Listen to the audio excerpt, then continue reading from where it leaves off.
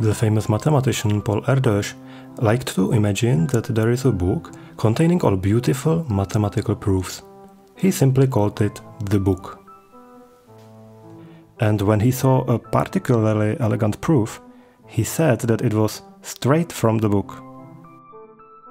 As computer scientists, we know very well that there is another volume of the book containing beautiful algorithms. And this video is about one of them.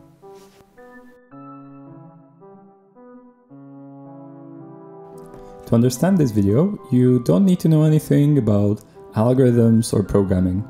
We just need to explain what computer scientists and programmers mean when they talk about trees. By a tree, we mean a bunch of objects that we call nodes, some of which are connected, similar to the branches of a real tree. This means that in a tree, you can walk from any node to any other node using the connections between them, but there is always just one way of doing that. So if we add a connection between these two red nodes here, it stops being a tree because now there are two possible paths between the two nodes. And if we remove a connection between these two blue nodes, they cannot reach each other anymore. So this again is not a tree. Once you know what a tree is, you'll start seeing them pretty much everywhere. For example, this is a small part of the file system tree on my computer. The nodes are the folders, and there are connections between each folder and its subfolders. On the right, you can see another visualization of the same tree that might be more familiar to you. These are just two different ways of showing the same tree. You may be surprised to learn that there are trees even in biology. This one shows how certain bacteria are related to one another. The outer nodes, green in the picture, correspond to actual bacteria, and the tree connecting them shows how they're related. So, if two species are similar, they are also close to one another in the tree.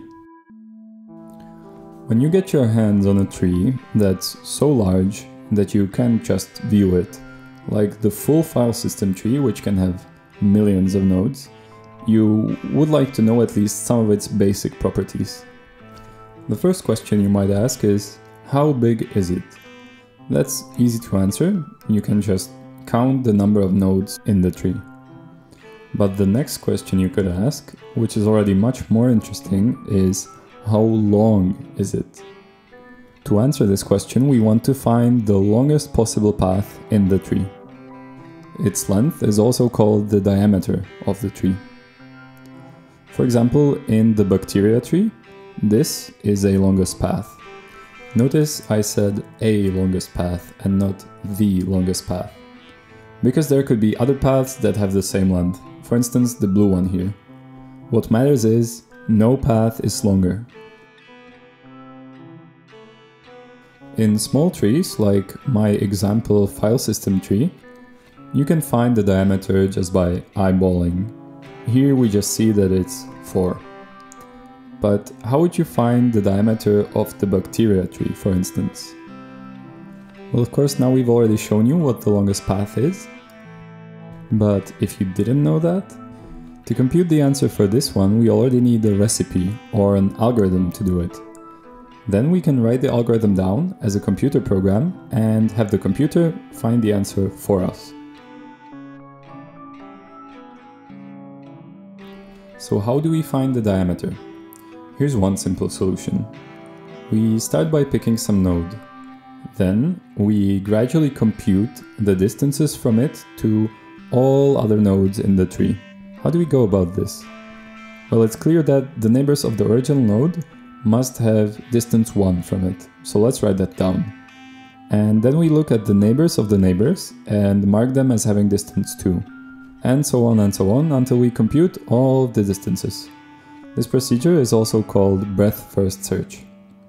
So now if we look at the largest number that we have here, it corresponds to the length of the longest path starting in the original node. So that would be one candidate for the longest path.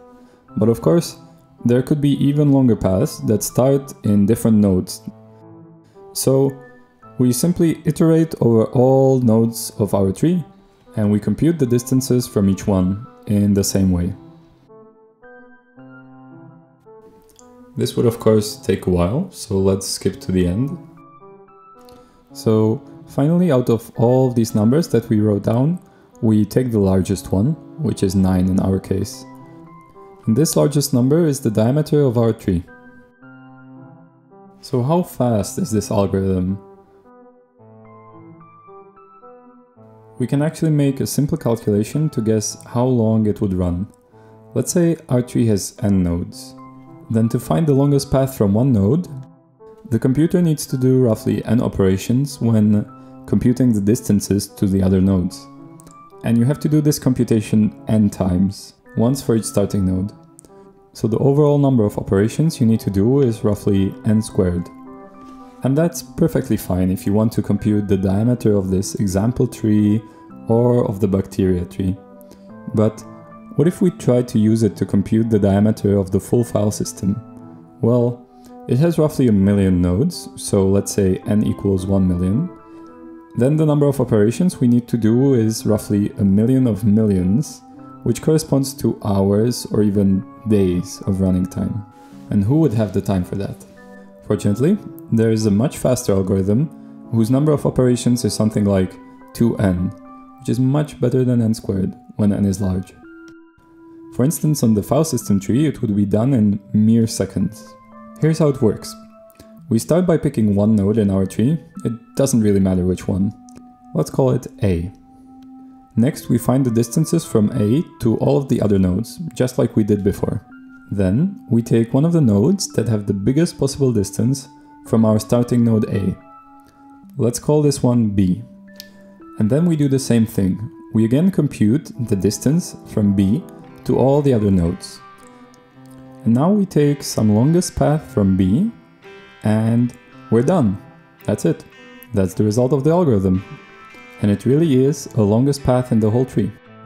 I want to stress how surprising it is that this algorithm actually works. It doesn't matter which node you start with, but it still gives you the correct answer.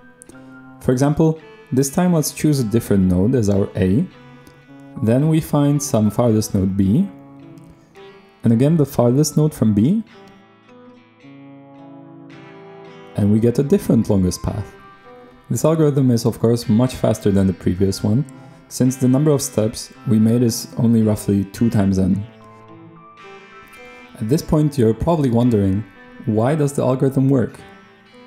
It turns out there's a really cool physical intuition about the algorithm and trees in general that we know from this great book by Michal Forišek and Monika Steinová. And with that intuition, everything will start to make perfect sense.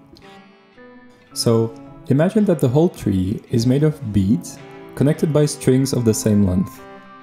Well, you don't have to imagine it, because we actually made this model. Now, let's look at the algorithm again, this time with beads. First, I take an arbitrary bead in my model, this is the node A, and I hang the model by this bead. You can see that the gravity helps me here to find the distances to other nodes. You can see how the beads are forming levels by their distance to the top node. These are the same levels that we found with our breadth first search method. This means that the furthest nodes are exactly those in the lowest level. I continue by taking one of these nodes. Say this will be our node B. And then I hang the model one more time from B.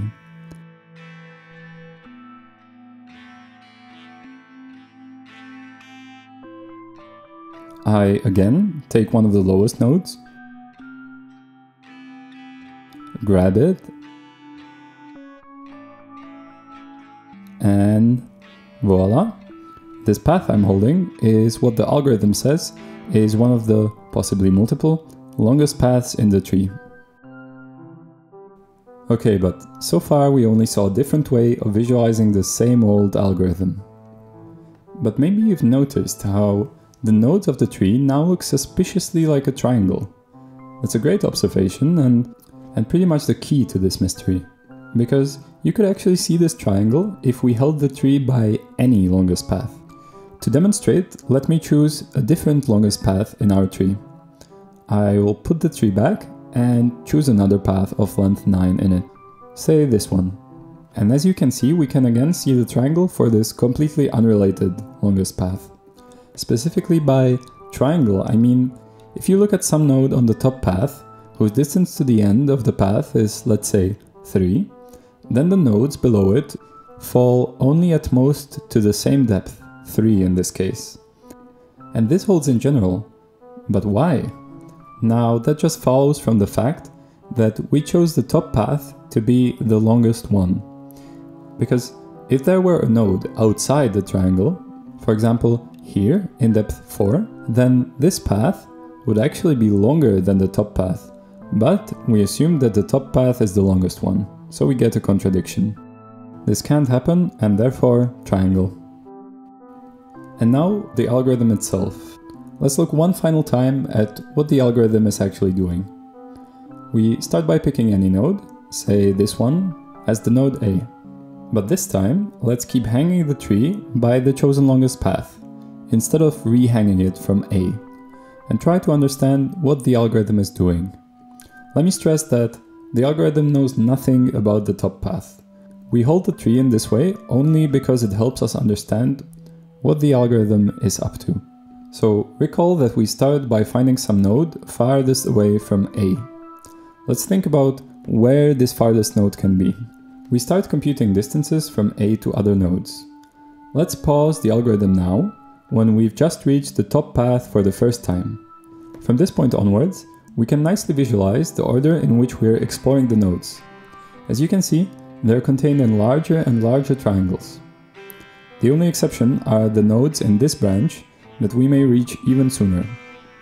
Well, this means that the nodes that we reach the last, and so are the farthest, are all on the right edge of our big triangle. In other words, the node B, where we end up in the first part of our algorithm, is some node on the right edge of our triangle. In fact, any of these nodes can be chosen as B, as they all have the same distance from A. Well, but now we are almost done, because in the second step of the algorithm, we do the exact same thing, and hence, this time, the farthest node must be somewhere on the left side. If you now look at the path that we found, you can see that its length is the same as the length of the top path, which means that our algorithm really did find a longest path. And that finishes the proof. Ta-da! Okay, there is one issue that we kind of swept under the rug. Namely, if the diameter of the tree is even, then the triangle looks like this.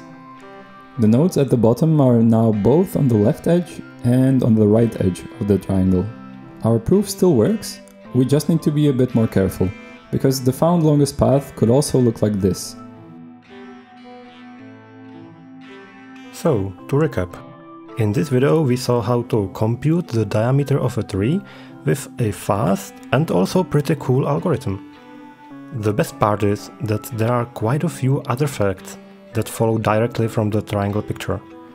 For example, in any tree, all of its longest paths need to go through the green rectangle in the middle of the top edge of the triangle. And even more, the nodes in the rectangle are right in the middle of any longest path. We will not cover these other facts in this video, but you can look in the video description to see what else the triangle picture tells us about trees and more interesting connections. For me, this video nicely shows why you should care about algorithms, even if you are mainly interested in mathematics. It was because of our care about efficiency that we arrived at this pretty elegant algorithm and ultimately, we got a new way of looking at trees. And that leads to new insights that we may not have had otherwise. Finally, we would like to thank 3blue1brown and Leo Soares for inspiring us to create this video, the Manim community, and to several other people who helped us in various ways.